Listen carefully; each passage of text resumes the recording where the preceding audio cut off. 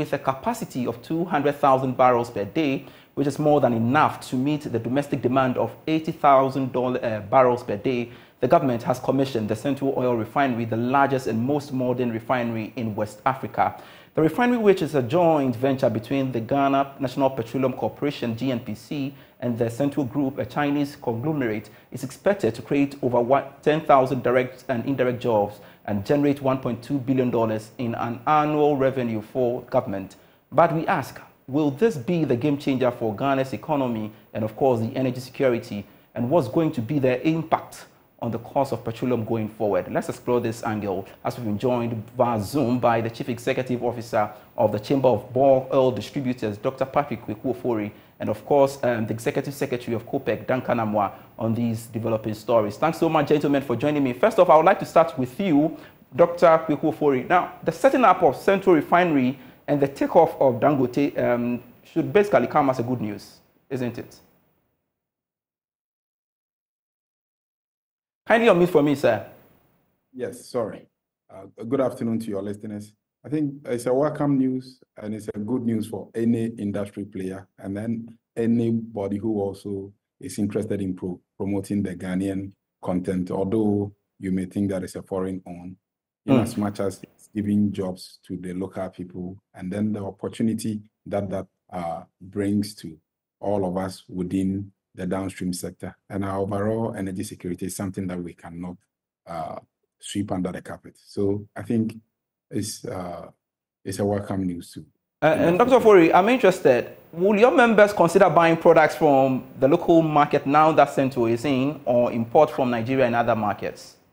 We are already buying from them. And I think uh, most of our members have also been dealing with them whilst they were even uh, putting up the plant. And I think we need to commend the regulatory institutions and the uh, dear chairman also for uh, the existing working relationship that we're seeking to build. Mm. But with, there are a lot of things that we can still do together to ensure that there's a smooth running of the refinery. And then also uh, the overall Ghanaian populace can also have access to cheaper fuels which maybe we'll delve into later on.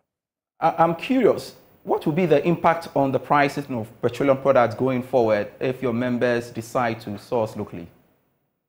From uh, when I received the call for this interview, a few background checks that we are already aware of from some of our members, if for nothing at all, already uh, most of our members are buying in cedis from them, mm-hmm. which somehow reduces uh, their risk with, with regards to the uh, forex uh, issues that we uh, that have bedeviled the sector for some time. So that gives us some form of comfort with regards to that. The issue of uh, demurrages that normally has also been a thorn in the uh, in the flesh of the importers. I think this is also something that is coming down. With there other uh, benefits that we seek to gain with regards to uh, insurance, insurance, and then other uh, fleet charges that normally goes into the supplier's premium. These are costs that uh, you can easily uh, get rid of when you are dealing with that. And even if it's being passed on with regards to the crude, because there are multiple products coming from the crude, it is spread thin that you know any particular buyer will not necessarily feel the impact of that. And basically, as is explained, with the, uh, the concept of economies of scale. So these are other opportunities that it brings. With regard to storage and then other local uh, handling of the product locally too, you will stand to have somehow a minimal cost within the enclave where most of the depots and most of our facilities are also are also housed. So I think these are some of the few things that we can easily talk of in terms of the benefit that it can really impact. All right. Uh, uh, let, us let, shift focus now. And it's been one month after the NPA started enforcing the new requirements for products. How are your members coping with that? Oh, we. I think uh, the last time I told you, we've mm. always been law abiding, and the rules. Uh, the rules have not changed. once you bring in product until the NPA and the Ghana Standard Authority certify that those products are good for the Ghana market, you, it will not come in. Their concerns were that uh, certain products came in, and that is how they needed to have checked. And that one is not uh, within the mandate of the members because somebody uh, ought to have checked the quality that is coming in. And I don't think those products, if they even track it, they could really link it to. There may be other chemical composition which we're seeking to build further collaboration with GSA and then the, the regulator to ensure that we enhance internally our research, our research team to track uh, products so that in terms of even handling the products uh, in the course of the transition from either uh, some storage facilities or even uh, some of the cars, uh, people putting other chemicals in the cars or something of that to really trace exactly where such issues were coming from. And I think the NPA did a good job when they went back to the terminals to start checking the fuels that were there. I think it gave them an oversight as to how to they can handle the problem. And I All think right. that was um, they decided to change the new and come up with those new uh, quality specifications, which I think we welcome that since it's, it's within their mandate and we've been supportive like we've always been and also complying with that measures since its inception. Very well. Thank you very much, Dr. Patrick Kweku-Ofori, for your time. He's the Chief Executive of the Chamber of Bulk Oil Distribution speaking to us there. Thank you so much, sir. But uh, Duncan is still on with me, though. Duncan, uh, thanks so much for uh, your company. I read your article about the presence of Sentuo Oil Refinery. To cut the story short, you describe it as the final nail in the coffin of Tor. Why?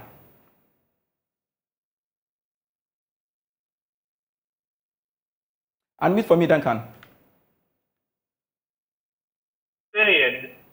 Thank you very much. Uh, of course, Sentuo, like uh, any other refinery, of course, with the private sector, uh, will be interested in one, uh, the cost benefits of their investment uh, by way of whatever profits that uh, would accrue to them. And so when I listen to Dr. Ofori and the suggestion that we are likely to have Sentuo mitigate high fuel prices, uh, I will be a bit skeptical because already uh, there's a lot of products coming out of Sentuo morning, afternoon, and even in the night, as late as 11, uh, people are still loading off Sentuo. Uh, not everything that has been loaded from there so far uh, has been products that they've had to refine. Uh, so I am not quite too optimistic, especially with the fact that the local refinery, which is the Oil Refinery, uh, we should have been, you know, a bit of a competition to Sentuo, uh, a bit of a driver uh, to fuel pricing, I mean, in the country generally, uh, as we speak, is off. And it doesn't look as though on the ground there are any plans. In recent times, if you recall, the worker unions uh, across board have been agitating for one thing to get Tor back to running. It is so because the, the, the refinery in Tor uh, has lost its workforce, the very technical brains. A lot of them have had to now sojourn to uh, Iran, Iraq, uh, places that ordinarily Ghanaians would not go uh, because their job securities here cannot be uh, assured. Then again, I also do a bit of digging to find out uh, is Sentuo really recruiting local talent? I can put on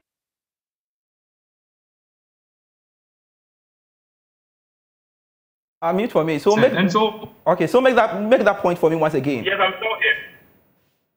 Yes. So uh, is Sentuo really coming to step up to be able to uh, employ the Ghanaian technical hand?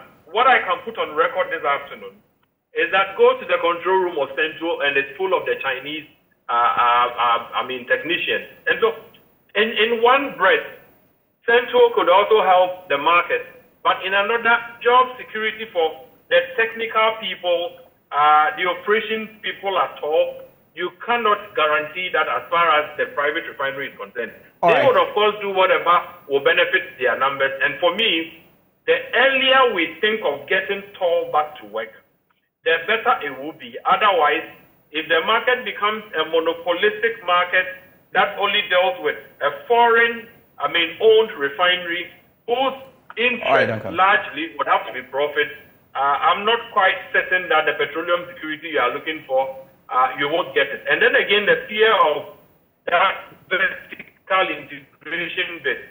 Not long ago, you recall the transporters were up in arms against Sentuo for. Duncan, uh, if you could make that point for me in a minute, I would appreciate it in a minute because we barely have time, so yes, you can make yes. it. I was saying, not long ago, the transporters were up in arms. The vertical integration fear that once Sentuo becomes the only player as far as the refining space is concerned, you may have Sentuo now decide to even go into the transport business, and then when it suits them, they may also decide to even buy the local fuel stations so that once they are done refining, they don't need to sell to anybody. They can get, I mean, companies across the value chain and ship products to the, the filling stations for you Duncan. and I to buy. that Duncan. will be a dangerous thing if we don't take care. Very well. Thank you very much, Duncan Amoah, Executive Secretary of COPEC, speaking to us there. Ending.